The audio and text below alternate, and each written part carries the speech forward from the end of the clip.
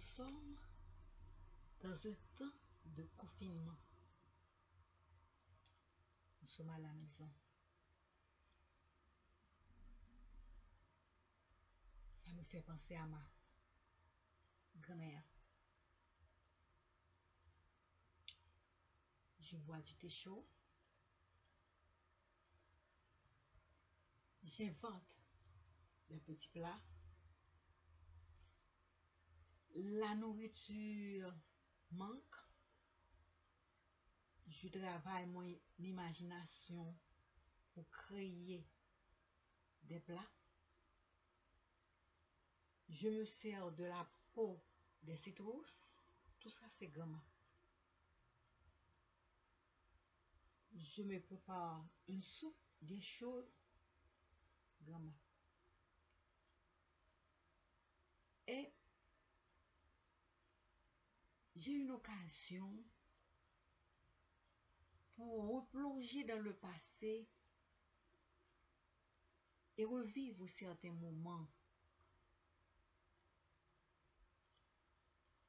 Parce que le confinement semble très déprimant à la fin. Je n'ai pas une partie de plaisir. Ça a trop duré déjà.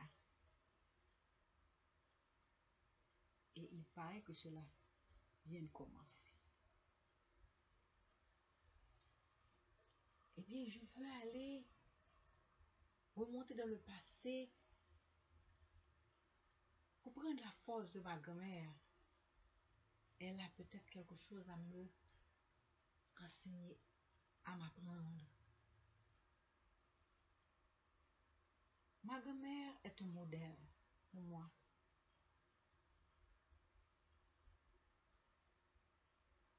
Elle était le bras droit de ma maman.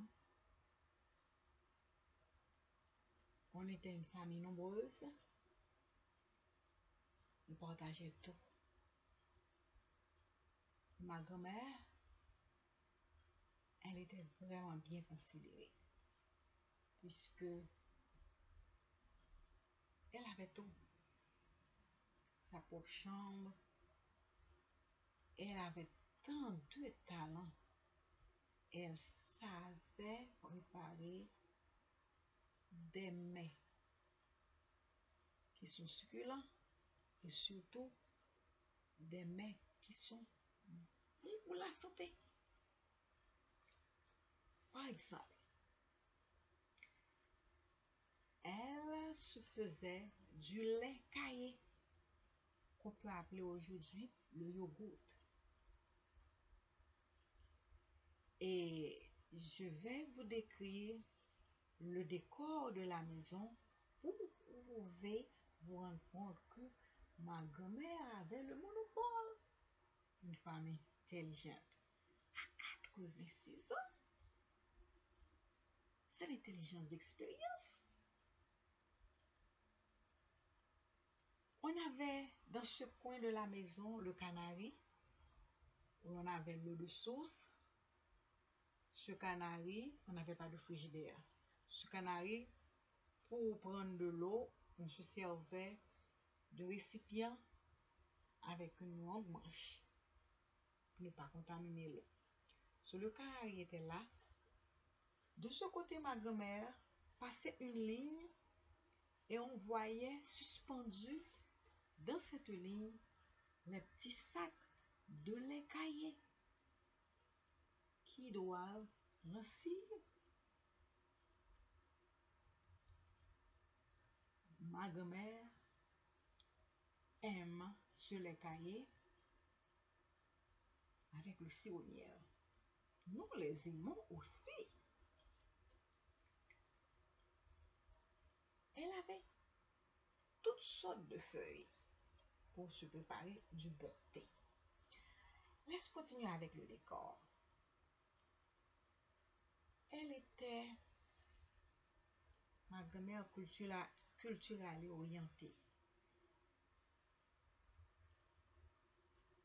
Elle se préparait des gâteaux, des gâteaux d'amidon. Elle disait que c'était bon pour les émotions. Elle se préparait des compotes de confiture, se servant des, des, des, des pots, des citrons, des pamplemousses, des, des, chadèques, des oranges. So, elle avait une table. Petite table à elle pour s'en occuper. Ensuite, on avait une grande table pour la famille, famille nombreuse. On avait 13 plats à installer le, pour, le dîner de midi. Ma grand-mère avait sa propre chambre. On avait la chambre principale quand on monte à l'étage. Et elle avait sa propre chambre. Mais elle l'a partagée avec moi. J'étais une privilégiée. Et elle avait son vase de nuit ici. Et puis, elle avait une robe mauve. C'est la robe pour mourir. Faut pas la toucher. Faut pas toucher. La robe de Grandma pour mourir. Et qu'est-ce qu'on voit? Chaque janvier, elle ne meurt pas. Elle s'habille avec cette robe. Elle en achète une autre. C'était vraiment amusant de voir ça. Ainsi, vous comprenez, ma grand-mère avait la mémie sur tout. Elle était très discrète. Ma maman savait tout. À cause de ma grand-mère, j'ai pris du temps à réaliser ça. Elle avait une liste à exécuter. Faut aller au marché pour elle, pour acheter du poisson frais. Il faut lui laver le vase pour uriner la nuit. Elle, a, elle en avait une longue liste, mais ce sont les, ce sont les plus importantes tâches qu'il faut aller acheter du poisson frais au marché local et lui laver le vase. On a un peu de ça pour balayer la maison. Elle était très stricte. Très stricte. Elle ne parlait pas beaucoup. Maman était toujours occupée. Famille nombreuse. Elle n'avait vraiment pas le temps. Nous, dans notre agenda comme enfant, nous avons, pour ma mère, à midi, les plats sont comptés pour les 13 enfants. Les plats sont comptés. Nous devons compter les plats, préparer la table. Et nous avons notre leçon à étudier. Maman s'y attachait beaucoup. Chacun, les plus grands prennent la responsabilité des plus petits. Ça se comprend. On avait une éducation assez stricte et on entendait respecter les principes. Ça rendait la, plage, la, tâche plus facile pour ma maman.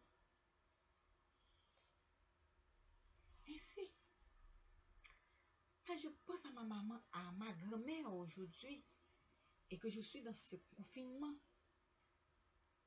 j'ai dit que on devrait boire beaucoup d'eau. Beaucoup d'eau. Mais ma grand-mère n'avait que le canari. Je ne pense pas que ma grand-mère faisait confiance à ce canari. Hein? Trop de personnes devraient manivrer. On devrait nettoyer le canari. Prendre. Elle n'aimait pas ça. So, elle buvait. Ce qu'elle buvait devrait être chaud. C'est de préférence le thé. C'est une précaution, c'était bien. Hein? C'était bien. La soupe est chaude, le thé est chaud. So, je me vois prendre des thé chauds et une soupe chaude, puisque le virus, la chaleur, peut décomposer la partie engraissée. Surtout doit être chaud. Parce qu'on a compris ça. Et c'était la façon de vivre de ma grand-mère. Tout est chaud. Ça le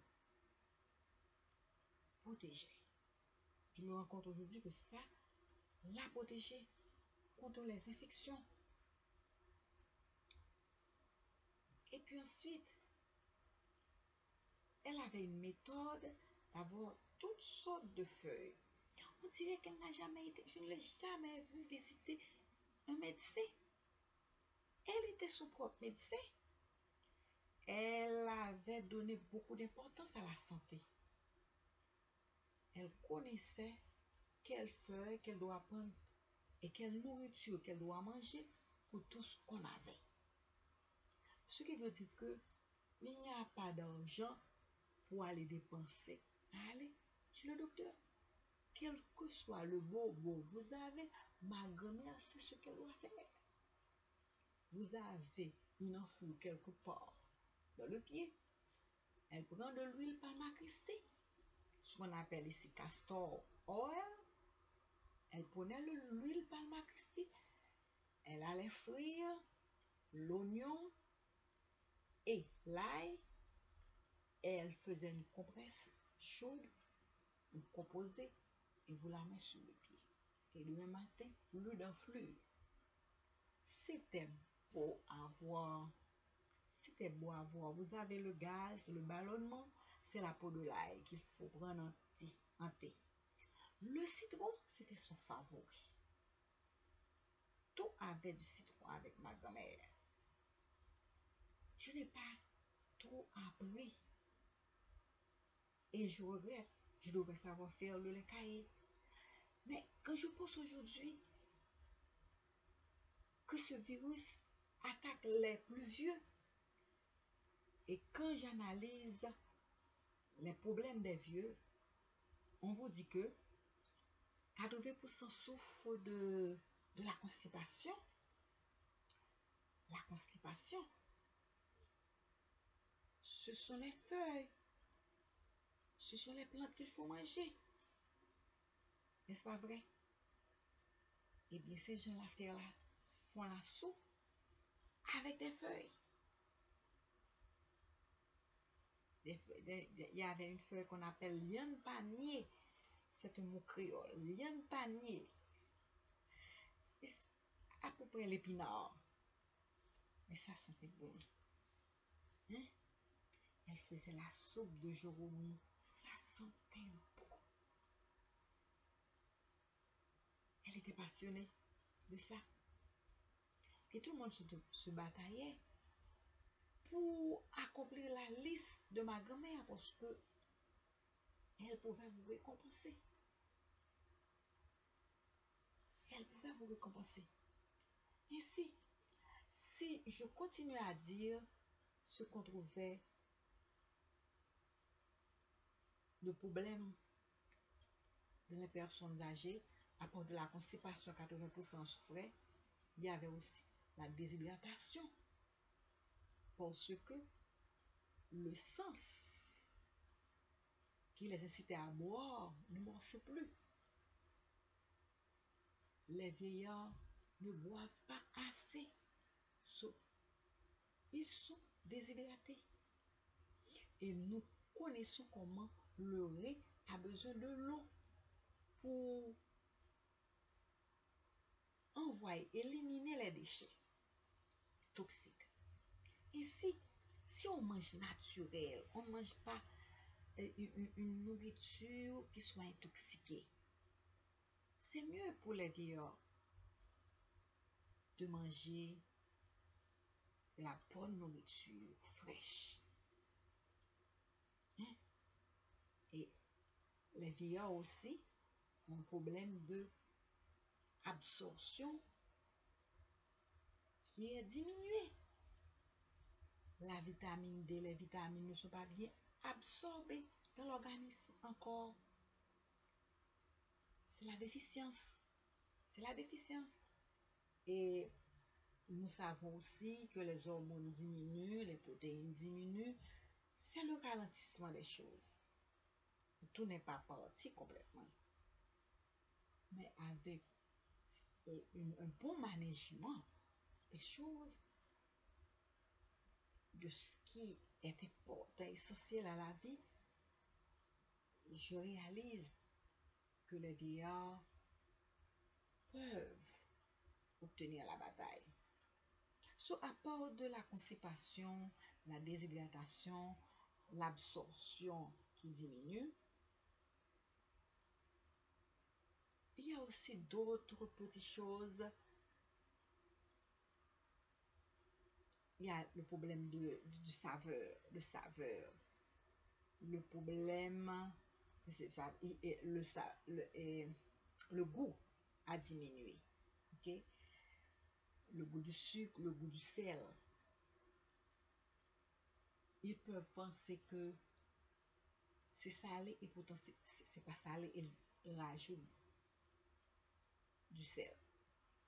Ils peuvent penser que c'est déjà, c'est pas assez sucré, c'est sucré. Ainsi que des maladies peuvent se développer, comme le diabète et la haute tension. À un certain moment. Ainsi, ils ont besoin de notre protection. Mais comme je vous dis, ma grand-mère, on dirait que elle avait expérience d'intelligence. Et tous les veilleurs l'ont. Même si l'adaptation commence à se diminuer, mais l'intelligence d'expérience est là. C'est formidable de voir ça. Ils savent ce qu'ils veulent. S'ils le prennent en main, et surtout la santé, ça ira. Mais avec ce virus, ce virus nous demande beaucoup. Hein? Il faut boire de l'eau. Et on n'a pas envie de boire de l'eau. On a plus de 60 ans. On commence à devenir vieux. On n'a plus envie de boire de l'eau. Il faut boire de l'eau pour éliminer les toxines. On a des problèmes de constipation. Il faut manger les feuilles. Il faut manger les feuilles. Ma grand-mère se faisait des bonbons d'amidon. Elle disait que c'est pour l'émotion. Mais elle faisait toutes sortes de, bonbons. Et elle ne mettait pas beaucoup de sucre. Elle a une façon d'agencer la mer et le sucré. Et le résultat était formidable. C'est un talent qu'on doit cultiver. C'est un talent qu'on doit cultiver. Et ces confitures avec les peaux des citrus, c'était vraiment très bien. On peut s'occuper de hémorragie avec euh, la peau de pamplemousse. Et il y a une façon de, le faire, cette, cette compote de confiture. Ici, c'était du génie pour ma grand-mère de connaître toutes ces choses-là. Et on n'a pas hérité de ça. On ne faisait pas attention. On, disait toujours, si jeunesse savait, si vieillesse pouvait. On ne pensait qu'à jouer. À jouer. À jouer. OK? Nous avons la nourriture et puis ensuite à jouer devant la devanture de la maison. Hmm? On se concentrait sur la nourriture et la devanture. On aimait jouer. Of course, il y avait la leçon. La leçon à étudier. Mais pour vous dire que ma grand-mère n'allait pas loin, puisqu'elle nous envoyait au marché local. Au marché local. Quand on pense qu'aujourd'hui que on envoie les enfants au market, et nous-mêmes, on nous dit d'avoir notre distance sociale, de rester à la maison. C'est ce que ma grand-mère faisait. Nous, les jeunes, à 10 ans, je me rappelle, je devrais aller au marché local pour ma grand-mère. Et c'était normal. Dès qu'on connaît l'arithmétique très bien, on comprend l'échange, on vous envoie au marché. Il y a une anecdote à cela. On m'envoie au marché voilà, c'est du poisson. la marchande de poisson n'est pas bonne quand on retourne le mauvais poisson. Elle va vous engueuler. Et je me souviens, je elle me disait les mots qui ne sont pas propres. Et je me faisais un recueil de mots, puisqu'on était en vacances, on n'avait rien à faire, et je les partageais avec ma petite soeur. Et je me disais, je rêve un jour de, de répéter tous ces mots à cette marchande. C'était pour vous dire que j'étais fâchée. Ici, on nous obligeait d'aller au marché local pour ma grand-mère?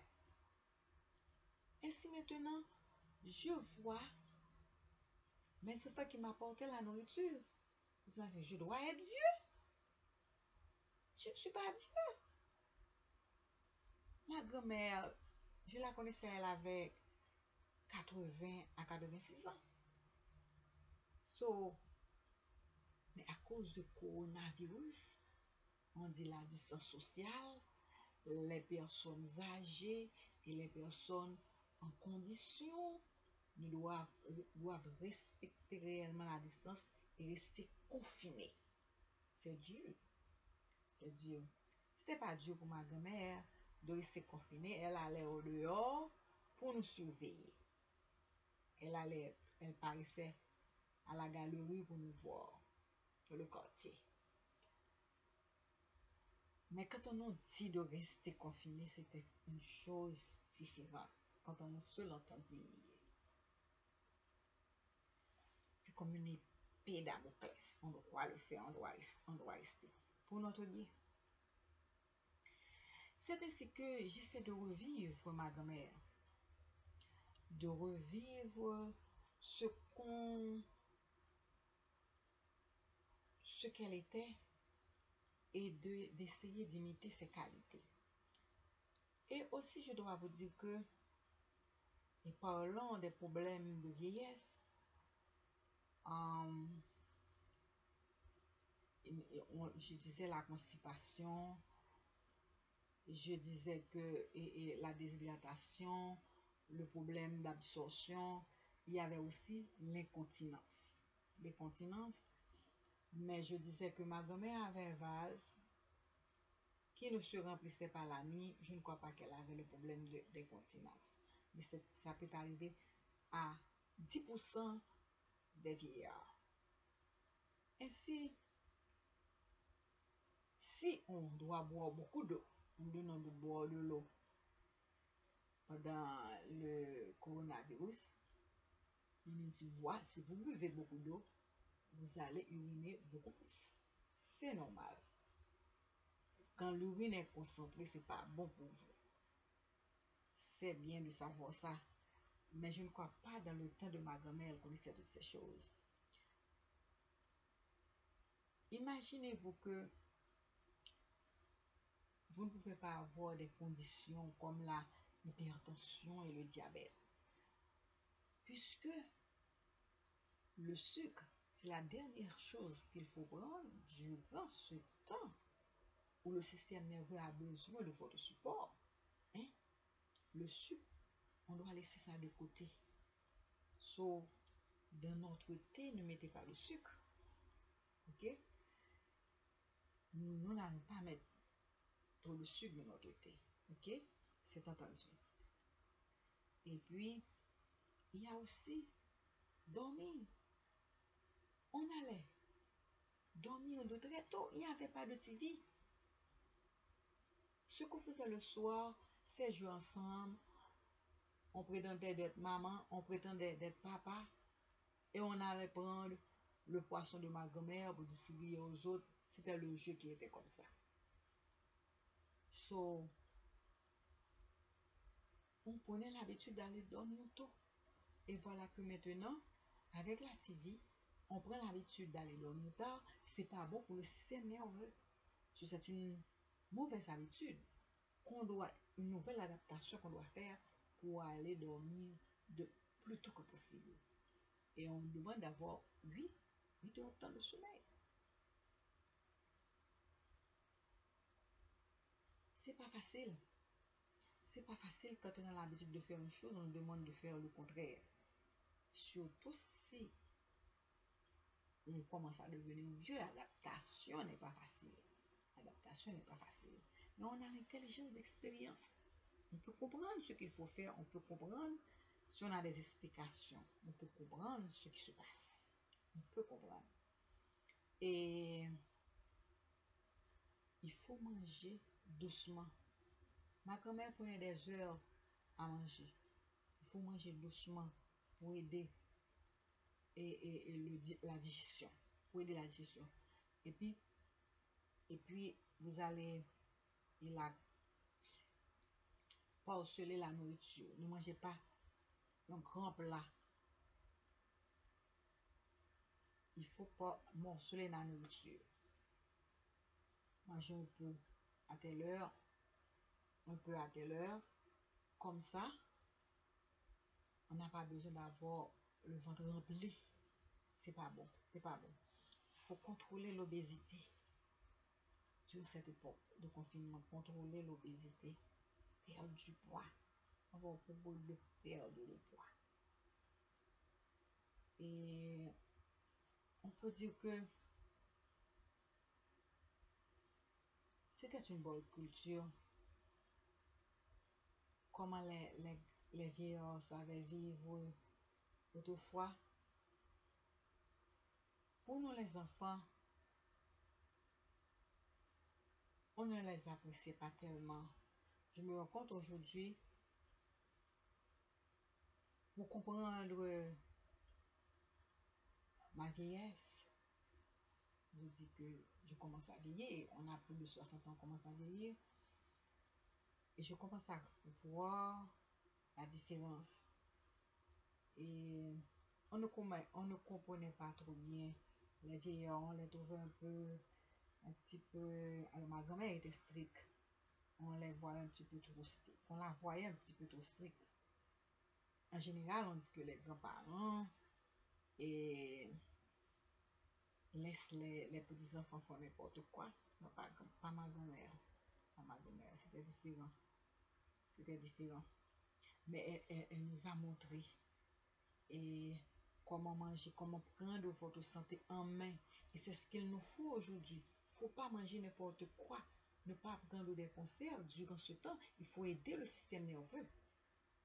Il faut aider le, notre système le système euh, immune système. Il faut il faut l'aider. Le système immunitaire, vous devez l'aider. Mangez bien, dormir bien. Et n'ayez pas peur.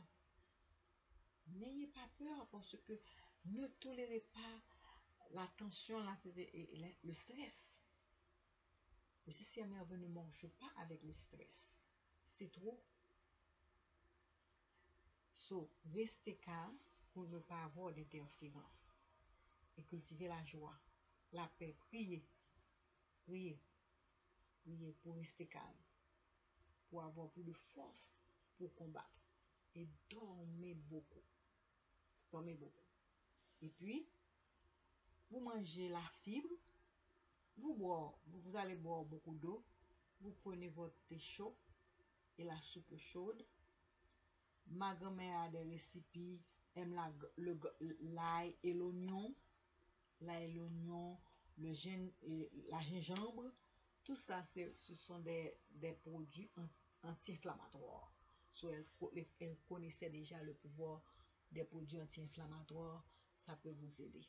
Et le citron, c'était aussi.